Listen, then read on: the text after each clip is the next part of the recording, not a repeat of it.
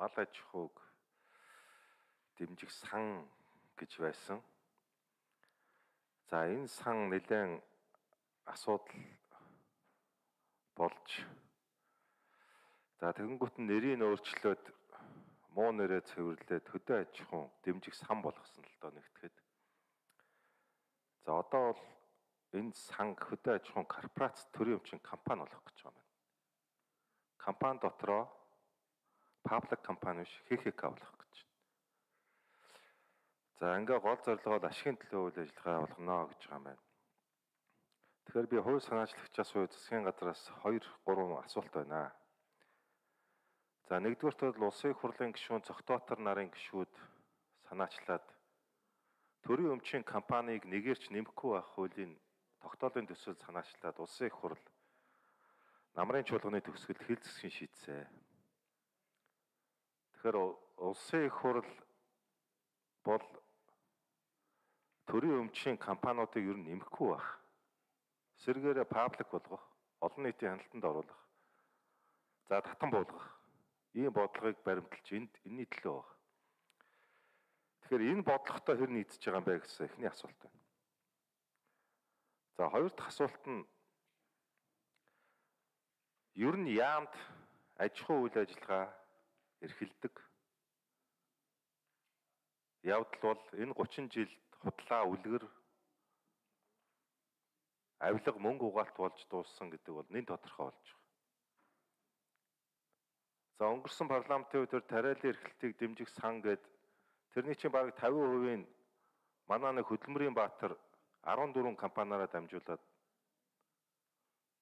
хүртчихсэн гэдэг зүйлийг энэ Хүрлбаатар сайд ирж байсан шүү дээ. Энэ улсын хурлын чуулганд. Тэгээ шалгалтын дүнгөө болохоор гаргаагүй олон нийтэд. Ил болгоогүй. Тухайн үед энэ сангийн яам шалгаж ирсэн юм шүү. Засгийн газар танилцуулсан юм шүү.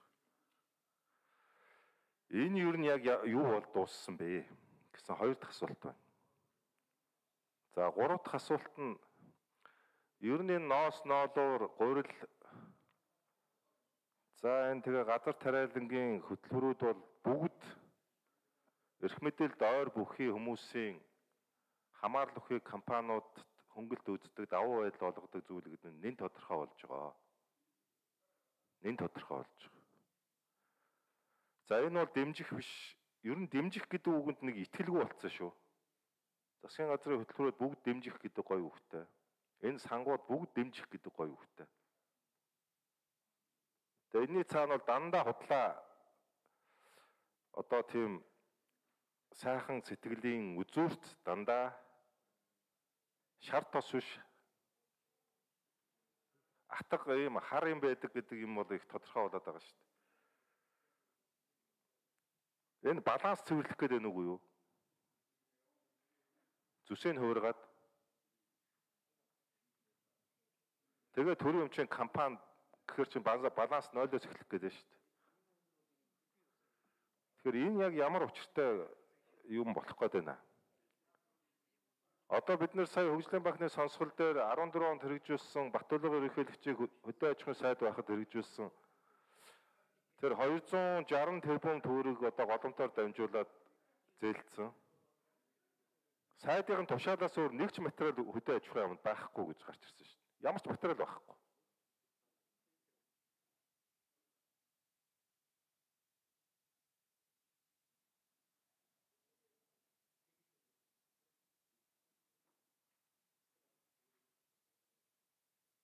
Аянгагийн боловч сайд хариулъя.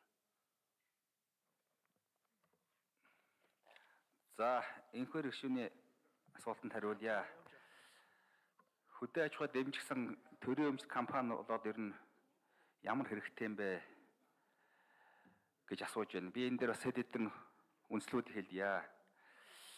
Нэг төрийн зарим чиг үүргийн хүрээнд улсын төсвийн хөрөнгөөр хийгдэж байсан тарим дургуудыг үр суулгад сортын үрийн үржүүлэг, урмал хамгааллын бодис, бордоо, шатхууны импортын худалдаа, хөдөө аж ахуйн техник тоног хөргөмжийн дийлэрийн болон түрээсийн үйлчлэгээ, засвар сэлбэг хэрэгслийн худалдаа, эрчимсэн мал аж ахуйн дэмжих хөдөө аж ахуй зөвлөх нэвтрүүлэх үйлчлэгээ зэрэг ажил үйлчлэгийг аж ахуйн тооцоол шилжүүлж өөрөө өөрийгөө санхүүжлэх бие даасан үйл үйл ажиллагаа явуулах боломж хүрднэ.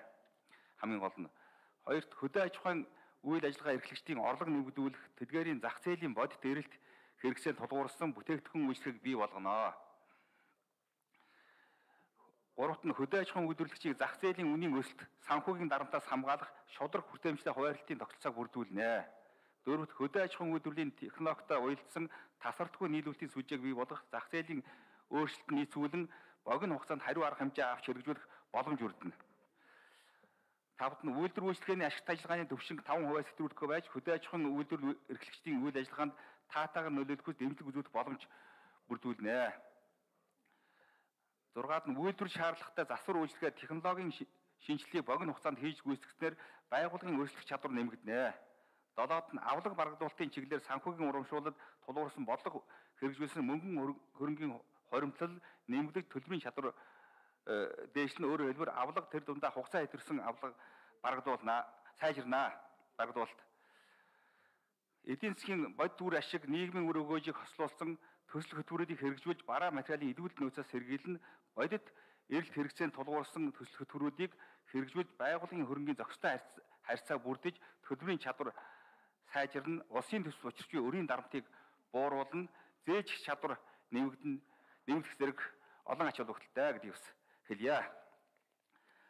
Цаашдаа бол таны хэлдгээр одоо энийг бол хувьцаа эзэмшсэн хүн сүдэж хөнгөлдрийн яам байгаа.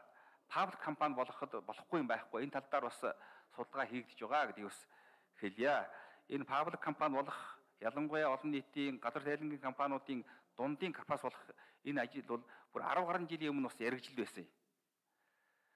Өнөөдрийн хүртэл бол одоо бас одоо сан гэсэн байдлаар ингээд яваад ирсэн.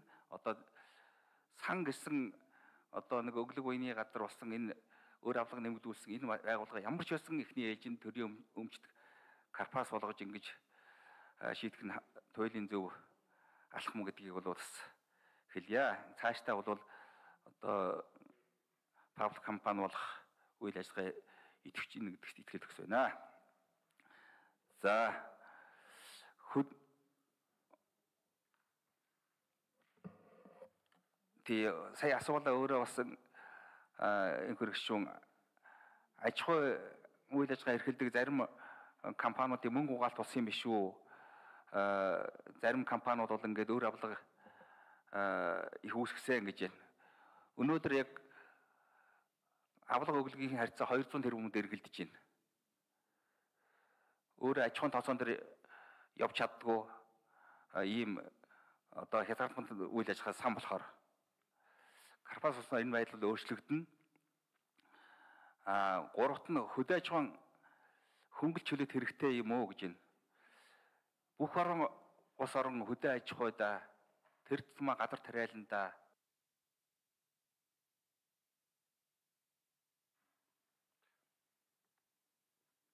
гүйцэж явуулах уу? За 2000-гийн Бүх ус орон хөдөө аж ахуй тэр тусмаа гадар тариаландаа бол хөнгөлт чөлөөлтийг урамшуул ямагт олгож байдгаа. Манайхаас тааламжтай цаг агаартай, бороо хур илвэхтэй, өндөр ус авдаг гадар хүртэл хөдөө аж ахуйдаа бол хөнгөлт чөлөөлт үр бордоо, шатуун техник олгож урамшуулыг олгож яадаг.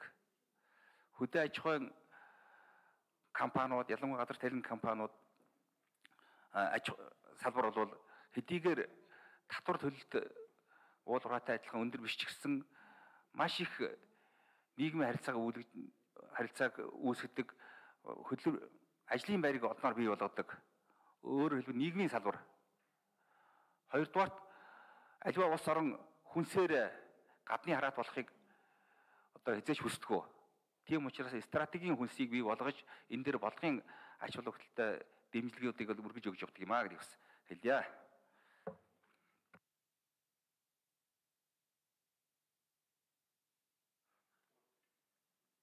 За Батмөрийн хөрөг шин тодруулсан.